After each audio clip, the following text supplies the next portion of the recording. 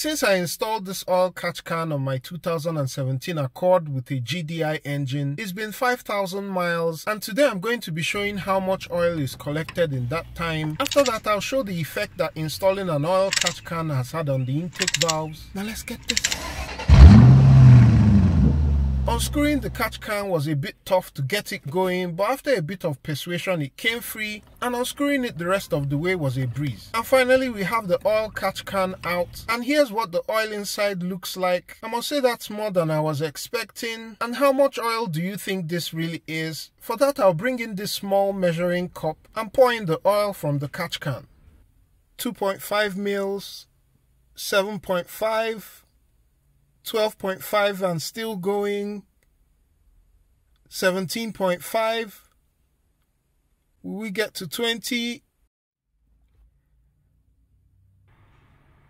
and finally 20 mils for those of you who took part in the community post, if you selected the 20 to 25 mils option, you're correct. I'm still going to take a look at the intake valves. For me, this has really proved a good install on this GDI engine. Just imagine how much carbon this would form in the engine if this whole quantity of oil is burned. Now to the intake valves. Here's what the intake valves look like before the install. You can see it has this wet look with all the oil coming from the PCV system. Here's what the intake valves look like after the install. They are much drier. My only regret is that I wish I installed this oil catch can sooner. It would have helped to reduce the carbon buildup on the back of the intake valves. One tip if you do install an oil catch can is to always flush it with solvent. This will clean out the passages just in case there's any sludge building up there. If you do all of this, the oil catch can will pose no risk to your engine. As always, links to the catch can and any other thing I've used in this video will be in the description. Don't forget to like, share and subscribe if this has been helpful and I'll catch you on the next one.